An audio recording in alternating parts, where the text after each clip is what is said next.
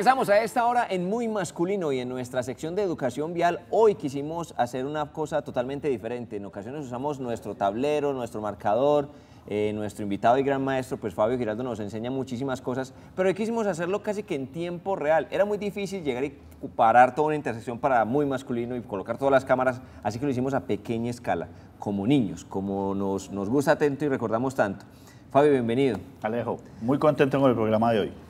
Bueno, hoy vamos a explicar de una forma muy didáctica, eh, que incluso me parece que así se le debería explicar a los niños, precisamente para que los niños entiendan y nosotros entendamos también qué pasa en las intersecciones. Aquí estamos viendo una intersección y pues eh, donde va una vía hacia allá, otra hacia acá. Ahorita elegimos cuál es la, la principal, donde pasan muchas cosas que, que son muy comunes. Eh, vamos a suponer, por ejemplo, que este señor que está acá, este carro, quiere virar hacia la izquierda, Sí, señor. Pero este señor también quiere hacer lo mismo. Por ejemplo, ¿quién tiene la vía? ¿Quién va de primero? ¿Quién debe detenerse? Usted nos va a explicar, entre otras cosas, todo esto. Sí, señor. Eh, esto está desde el artículo 60 hasta el artículo más o menos 74. Muy Todo bien. lo que hay que hacer en esta zona que se llama cruce o intersección de vías, Alejo. Perfecto. Entonces, vamos a entender que cuando nosotros estemos acercándonos a la intersección, nosotros tenemos dos cosas muy importantes, Alejo, y es que estas son zonas de peligro. Muy bien. Eh, y la ley, o el artículo 74, para empezar, nos pide que en esta zona nosotros tengamos especial atención con los peatones o con la zona de concentración de personas. Bueno, aquí no lo hicimos, eh, pero estas partes deben ser unas cebras. Sí, señor. Unas cebras que es donde la gente va a caminar, donde obviamente estos carros no pueden frenar encima de ellas o encima de la raya, que esto genera parte. Sí, señor. Pero entonces, todas estas cosas. Alejo, vamos a suponer que esta intersección, esta zona que nosotros encontramos aquí de cruce de vías, puede ser de un barrio. Y démonos cuenta que en los barrios generalmente no hay señalización de pares o no hay señalización de zonas de, de- de cebras o de senderos peatonales. Sí, en, en barrios sí es diferente. Pero vamos a empezar entonces a hablar aquí, Alejandro. Perfecto. Mientras tanto, le voy a pedir aquí a don Sebastián que le, a nuestro realizador Lucho Pardo que nos preste a su Michael Jackson. Sí, para señor. que tengamos aquí un, una persona que camine, que Lucho tiene un Michael Jackson aquí en la oficina, que nos lo preste un segundito. Bueno, entonces. Alejo, entonces encontramos aquí señalización, encontramos que estas son, son vías de dos carriles, no son de tres y cuatro carriles como encontramos en varias zonas de Medellín. Y en este caso vamos a encontrar señalización de líneas separadoras de carril, Ajá. ¿cierto? Y encontramos que hay líneas divisorias de carril discontinuas y casi que llegando a la intersección siempre llegamos y encontramos una línea que es continua más larga que las otras. Ok.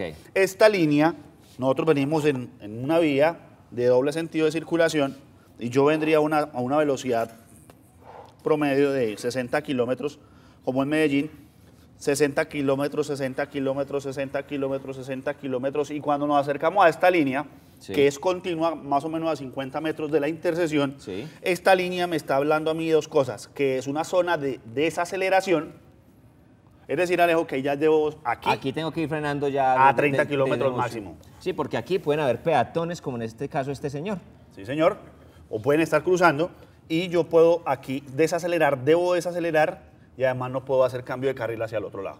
Ok, eso ¿Listo? está muy claro. Sí, la- Venimos en una línea La aquí. línea separada implica que yo sí puedo adelantar. Es decir, si yo voy por acá, o venga, hagámoslo por aquí a este, a este otro lado, línea separada puede decir que si no viene nadie, yo perfectamente puedo adelantarme Perfecto. en línea separada. Perfecto. La línea continua me dice que no puedo hacer este proceso. Perfecto. Entonces empezamos a entender que esto es una línea que le indica a usted zona de desaceleración a un máximo de 30 kilómetros por hora. Resulta, acontece, Alejo, que en esta zona no hay ningún pare. Ajá. ¿cierto? Ni en los barrios, ni semáforos. El artículo 66 me obliga a frenar a cero kilómetros en la esquina. O sea, ¿Por que qué cuando yo resulta, esté ahí- Alejandro? yo esté ahí, ya esté totalmente ¿Por qué detenido. resulta, Alejandro, que yo también, entonces me va a pedir favor a usted que conduzca Sí. este carro, Voy a conducir este carro. ¿Cierto? Pongamos aquí a don Michael un segundito. Sí, usted viene a la parte trasera y resulta, acontece que ahí no hay ningún pare, aquí tampoco hay ningún pare. Y el peligro corre aquí, cuando nos acercamos nosotros dos y puede Sí. ocurrir un choque aquí, si no hay ninguna frenada, ¿cierto? ¿Quién, ¿Quién tiene la vía ahí? Ese es. Entonces ahí vamos a empe- a empezar a hablar de la prevención. Entonces Alejandro, vuelvan a conducir ese vehículo. reversa al carro. Sí, señor. Nosotros empezamos a identificar la zona de desaceleración, Sí, aquí llegamos al mismo tiempo, nos obligan a parar y aquí tenemos que verificar si él sigue derecho, si él sigue derecho, si él hace un giro, si él hace un giro, si él hace un giro, Si ¿cierto? volteo hacia acá. Perfecto. O si volteo hacia acá, pero aquí, Perfecto. aquí no tendría problema, pero sí, sí te voy a tener problema con el carro azul si voy derecho o si voy a voltear hacia allá. Perfecto. Máxime, si él también va a voltear hacia mí. Entonces vamos a suponer que él va a girar hacia la izquierda de él. yo voy a voltear hacia allá. Entonces lleva la prelación el vehículo que sigue derecho. Él. En este caso, bueno, vamos a hacerla entonces. Usted, usted es el que sigue derecho, yo soy el que voy a voltear. Entonces, Llego y freno a cero kilómetros. Yo también. Verifico, pero sigo yo derecho. Y yo, yo tengo, tengo- la prelación y usted espera que yo pase. Porque yo voy a voltear. O sea, el que voltea es el que espera. Perfecto. En este caso, para no hablar de que gira a la derecha, gira a la izquierda, nada de esas cosas, vamos a hablar. Si él sigue derecho y usted va a girar a la izquierda, pierde la prelación usted y tiene la prelación el Me toca esperar. Fabio, le tengo una pregunta. Usted me va a explicar muchas cosas más, pero vamos a suponer que aquí hay un señor que está varado. Perfecto. Entonces, este señor llegó y frenó acá porque hay un señor varado, más o menos. Sí, señor. Yo llegué y no me percaté, pensé que este iba a seguir derecho y llegué y frené en toda la intersección. Esto tiene parte. Sí, señor. Entonces vamos a colocar un carro aquí varado. Permítame un momentico, Alejo. Pongamos este que este tiene capó con- para este, también, colocarlo tiene- varado. este también tiene capó, ¿Ah, sí? Bueno, Entonces, este carro antiguo tiene el capó, pongamos aquí para que se vea en la cámara. Entonces, este carro está varado. Aquí, varadito. Aquí está Don. Michael tratando de arreglar el carro. Listo. Pero este señor, yo lo dejo en toda la mitad de la vía. Lo dejo en toda la mitad, sí. Entonces usted tiene toda la, usted tiene toda la razón. Bueno, entonces yo voy con aquí, con, el- con este carro. Entonces, Sigo aquí, sigo aquí, sigo aquí y aquí hay un- una especie de trancón. Y yo también iba a pasar, entonces, claro, frené aquí y para acá de ajustar, Otro. llega este y también freno acá. Y este señor queda aquí bloqueado porque no tiene acceso a la intersección. No tiene para, ni, ni para voltear para acá, ni para voltear para ningún otro lado. Este señor y este señor tienen que evitar ingresar a la intersección, ¿cierto? Porque la norma dice clarito, si la intersección está obstaculizada, obstruida, deberán, deberán abstenerse de ingresar a la intersección. Pero la pregunta es la siguiente, no, esto es de lógica, es decir, aquí veo que todo el mundo está parado, pues bueno, yo no voy. Pero ¿qué pasa si me metí acá?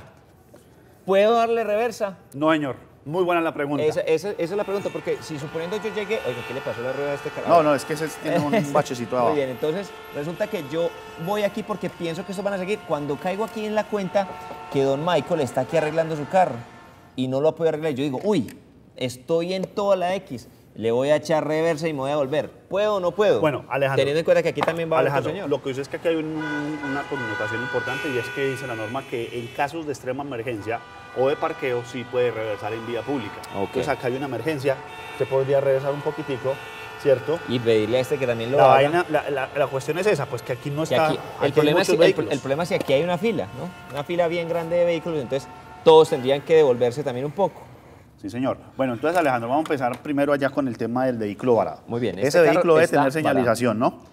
Ah, sí, eso lo vimos de- hace ocho días Sí, en la señor. clase de hace ocho días. Es decir, aquí debe haber un, Un cono, un triángulo a, a tantos metros. de 50 a 100 metros de la parte eh, trasera o de la parte anterior, Ajá, aquí. 50 a 100 metros de la parte posterior o delantera, ¿cierto? Y las estacionarias. Y las estacionarias O sea, encendidas. lo que más se puede hacer notar. y recuerde, amigo conductor, que debe colocarlo a la derecha lo más derecho posible para que obviamente él... O, que aquí- o sea que aquí a, a- a don Michael le toca hacer una fuercecita y ponerlo Exacto, Alejo. en la derecha. A la derecha de la vía. Ok, muy bien. y para que nosotros podamos acceder a la vía. Entonces, ya hicimos el primer principio de prelación, ya hablamos de vehículos varados en vía, ya hablamos que esto se llama un rectángulo antibloqueo, Sí. eso se llama un RAP, ¿estamos de acuerdo? Un rectángulo antibloqueo. Ya nos explicó usted que tiene prelación, el que sigue derecho. Si En este este caso, sí. derecho y yo voy En a este voltear, caso, sí tiene yo prelación. tengo que esperar. Pero vamos a suponer otro, Alejandro, conduzca usted allá en ese... Conduzco en- este carro negro, muy bien. Y yo me voy a ir aquí, Venga, yo conduzco el rojo que está como más... me voy a ir acá, perdón un momentico. Ahí le va a dar usted la espalda a la cámara, pero toca... No importa. pues, Y yo voy a, yo voy a hacer este giro, Alejo. Usted viene aquí, ¿cierto? yo voy hacia... Va a girar aquí a la Voy a girar hacia allá, muy bien. Y yo giro a la derecha.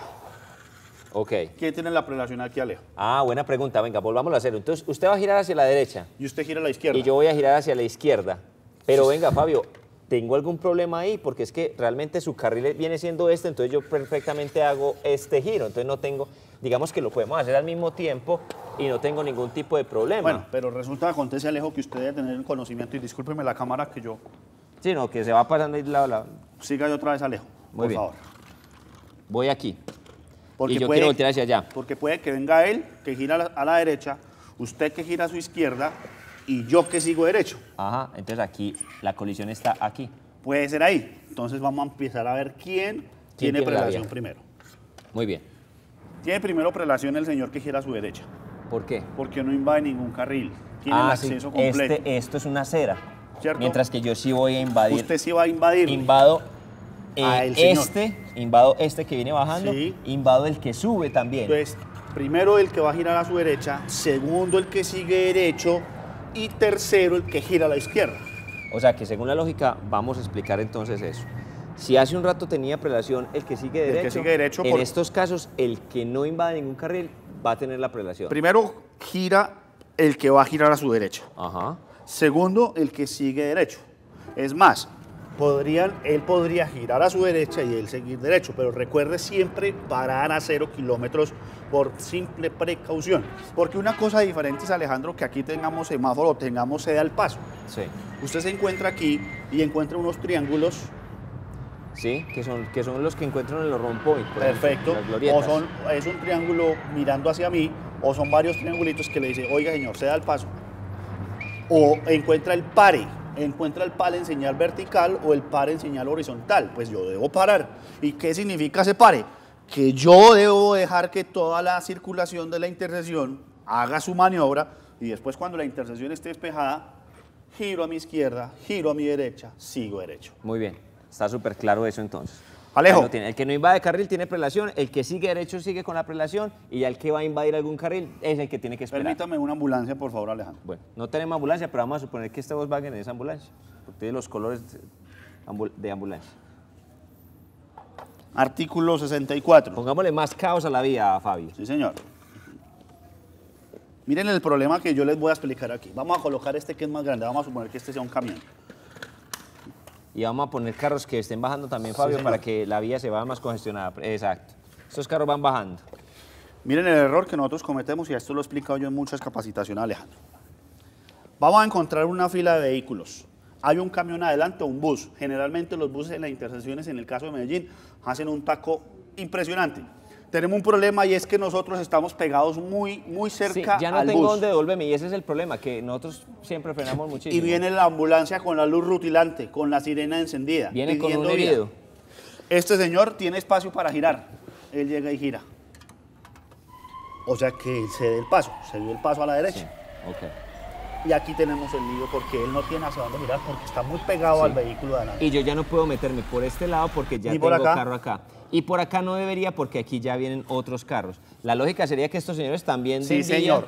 La lógica es que por ley él también tiene que abrir espacio a su derecha para que en el caso más extremo la ambulancia o el vehículo de emergencia ingrese por el medio para que pueda tener prelación en vía. Pero vuelvo e insisto, amigos conductores, cuando usted llega a una intersección, usted debe tener una separación promedio en un taco, en un trancón, de más o menos de 5, de 0 a 10 metros, pero utilice por ejemplo unos 2 o 3 o 4 metros para que usted pueda hacer esto, hacer esto, darle que- prelación al Y vehículo, que estos señores también que puedan... ellos también abran a la derecha y la ambulancia o el vehículo de emergencia pueda hacer. Le tengo pregunta con el tema de la ambulancia. Resulta que es que este señor frenó acá, ya estos señores dieron vía, la ambulancia llega a este lado, ¿Sí?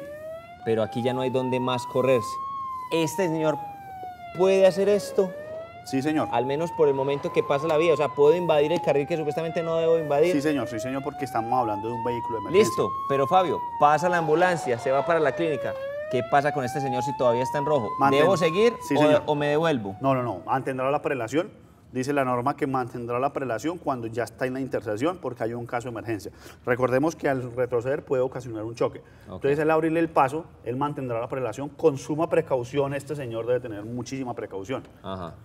La utilización de los carriles en vía pública es muy importante porque encontramos, por ejemplo, avenidas como la avenida como la vía regional, como la autopista norte-sur, como la Guayabal, como la auto, como la como la, a ver, como, como la Oriental Alejo, Sí. que no tienen un solo carril.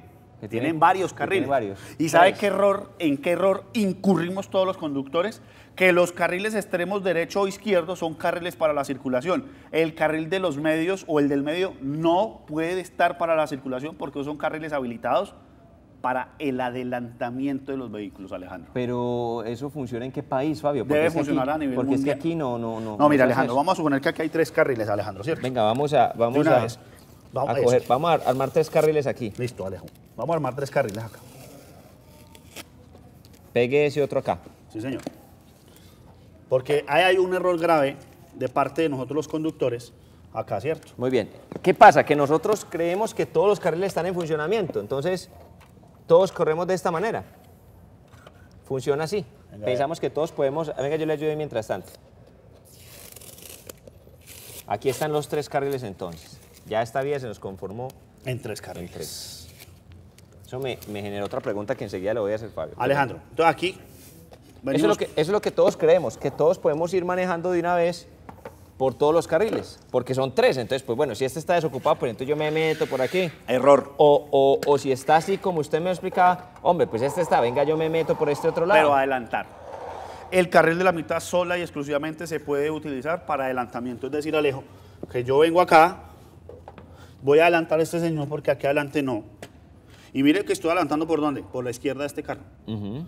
Según la norma me dice a mí que no adelante por la izquierda. Sí. Por, perdón, por la derecha. Que adelanto solamente por la izquierda. Sí, pero es que en este caso tenemos tres carriles habilitados. Adelanto y vuelvo a mi carril. No me puedo quedar aquí e ir de derecho que Alejandro. porque está... A mí me podrían generar una sanción, un policía de tránsito, un guarda de tránsito por utilizar los carriles de la mitad para circulación. ¿En serio? Oiga, me, me vengo, a, como decimos, a desayunar con eso. ¿Qué pasa si son cuatro carriles? ¿Qué Entonces, pasa si son cuatro carriles, Deme un segundo, yo armo otro carril acá. ¿Qué pasa si en vez de tres son cuatro?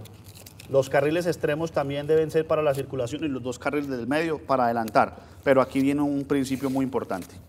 Aquí hay cuatro carriles. Ya. Eso, ponga ese aquí, ya ahí queda, entonces, queda explicado, queda uno, dos, tres y cuatro carriles. ¿Listo? Y vamos a poner los cuatro carros. Entonces, ¿qué, qué pasa ahí? Estos dos carriles deben estar despejados. Y usted adelanta por acá. Pero Y vuelvo, usted adelanta por acá. pero vuelvo a mi carril cuando ya carril. adelanté. No Eso. debo estar aquí. O sea que si yo voy, en- en- vamos a suponer que estos carros están andando, yo llego y hago esto y me voy a este carril y me quedo en el carril tranquilamente, a mí me puede parar un tránsito y decirme, venga señor, préstame su pase que le voy a hacer una Sí, infracción. Aquí en este caso nosotros deberíamos utilizar solamente los carriles extremos para circular.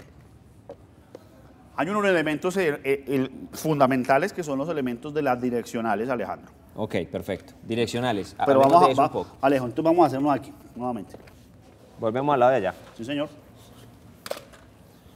Este carro viene bajando. Coloquemos este carro allá, Alejandro. Este que viene eso está pasando allá. Ok. Alejo, ¿cuál es el único mecanismo que usted tiene, usted, este conductor, tiene para informarle a él que usted va a hacer un giro a la derecha o a la izquierda? La direccional. O la mano. Pero, Si siquiera nos va a explicar usted el tema de la mano otra vez. ¿Cómo es que Alejandro, funciona? entonces yo voy a girar a la derecha. ¿A cuántos metros antes del cruce debo colocar la direccional en vía urbana? Según, según eh, lo que ve uno en las calles, eh, inmediatamente vaya. Ese, es, Lastimosamente ese pasa. es un error gravísimo porque usted debe colocar la direccional, amigo conductor, a 30 metros antes del giro. O sea, mucha gente lo que hace es lo siguiente. Aquí. Cuando eso, cuando voy en el carro, ¿Sí? direccional y volteo. Perfecto, Y pero no Alejandro, es así. y yo tengo dos errores aquí. Yo Sí. cometo un error y yo cometo un error. ¿Por qué pasan los choques, Fabio? Pasa porque este señor que va a voltear, coloca la direccional aquí y frena, y mientras este piensa que va a seguir derecho, le pega aquí Pero atrás. entonces vamos a hacer, vamos a hacer consejos de conducción preventiva, Alejandro, porque esto es muy importante lo que estamos hablando, Alejandro. Estas son las zonas para mí, como educador en temas viales, la más peligrosa. Ok. Yo debo aconsejarle a todos los conductores que están cercanos a las intersecciones que guarden la distancia que pide la norma. De 0 a 30 kilómetros por hora, debo guardar una distancia de 0 a 10 metros. Sí. Y no es por capricho, porque es que las personas muchas veces están distraídas y colocan la direccional encima del giro. Sí, sí, sí, y eso es muy común. Y esto me puede generar a mí o sacan, una- la, un o sacan la mano y ya. ¿no? Dos, la norma dice en el artículo 67 que está prohibida la frenada intempestiva en la vía. Ajá. Y estas personas muchas veces frenan intempestivo porque llega y dice, ¡ay! Vienen a 30 y, ¡ah! Y frenan ahí. y giran. Y como yo vengo tan cerquita a Yo él, también le voy a pegar. chocar. Muy bien. 30 metros antes del giro, 30 metros antes del giro a la derecha o a la izquierda, 30 metros antes de un adelantamiento, colocan las direccionales o en su defecto, si tengo algún problema con las direccionales, utilizo las señales manuales. Entonces, Que yo- no es sacar la mano y hacer así. Yo y, voy y cuando, y cuando voy yo, por ejemplo, a voltear hacia allá, este carro va a hacer este giro que está acá. Sí. La gente lo que acostumbraba era sacar la mano y sacarla por encima del, del- La sacaban por encima del capó así. Perfecto, Alejo. Entonces yo voy hacia allá, él es el que va a girar y si él quiere utilizar señal manual, incluida la señalización direccional, y va a girar a la izquierda, a la derecha, perdón, él hace esto. Entonces venga, yo me voy, a, voy a hacerme... Aquí, aquí, Fabio, aquí. Es decir, hágase aquí donde estoy yo en estos momentos para que usted vea que voltee hacia el lado y la cámara lo Yo pueda voy a tomar. girar a la derecha, aquí, Ajá. acá. Cuidado ahí con don Michael Jackson que nos Voy a girar a la de derecha. Y quiero utilizar la señal manual, hago esta, esta señal de tránsito. ¿Qué es esta? No, Así. es, no es hacerle así eh, por Así. encima. La señal original es esta. Eh, La señal original. Pero entonces voy a girar a la izquierda, tengo la direccional puesta y quiero girar a la izquierda. Yo hago así. Ok, sí, muy ¿Cierto? común. Lo que pasa es que la gente volea la mano, ¿no? Pero no, realmente Yo no. tengo algún problema en vía y voy a detener mi vehículo, yo hago al contrario, hago así. bajo la mano. Y generalmente las señales me tienen que perdonar la televisión, es que nosotros nos hacemos así Sí, en vía sí, pública y esa es la señal manual más original, no- más, no más original, no más utilizada. Démonos cuenta, Alejandro, todo lo que hay en una Sí, intersección. realmente son demasiadas cosas, Fabio, y muchísimas gracias por explicarnos. Es cuestión de, de tener un poco de paciencia, conducir despacio y enterarse quién es el que tiene la vía. Es lo más importante, que nosotros sepamos quién es el que tiene la vía. Nosotros en aquí esto. en este caso podemos hablar de muchas situaciones, hablar de, de temas de choques reales, de qué pasa si yo llego a chocar, por ejemplo, permítame a Michael Jackson. Sí. El, el artículo 58 y 59 a los peatones le dicen que no puede cruzar por la mitad de las calles, Sí, que tengo que sino cruzar que tiene que cebra, caminar hasta la cebra. hasta la cebra o hasta la esquina, porque recordemos que en los barrios no hay cebras. Ajá. Entonces, yo como peatón estoy obligado a circular hasta la esquina, a caminar hasta la esquina para poder hacer. Sí, el paso. tiene que ser en la cebra. Pero ojo, porque si yo puedo, si yo llego a, a chocar a un peatón aquí, aunque yo tenga la vía y yo voy a más de 60 kilómetros por hora, ah, perdón, a más de 30 kilómetros por hora, en esta zona yo tengo responsabilidad como conductor, eso Claro, se llama responsabilidad civil. Desde luego. ¿Listo? Muy bien, perfecto. Don Fabio, muchísimas gracias. Aquí jugamos carritos un ratico y recordamos y sudamos un poquito. Sí, ¿no? señor. Porque es que realmente a nosotros nos, nos queda muy difícil la agachada ya a nuestra edad, pero sin embargo pues tuvimos la oportunidad de aprender un poquitico acerca de este tema bien interesante. Don Fabio, muchas gracias. A usted, Alejandro, muchas gracias a los televidentes. Vamos a hacer una pausa muy corta y ya regresamos a mismo escribir, ya venimos.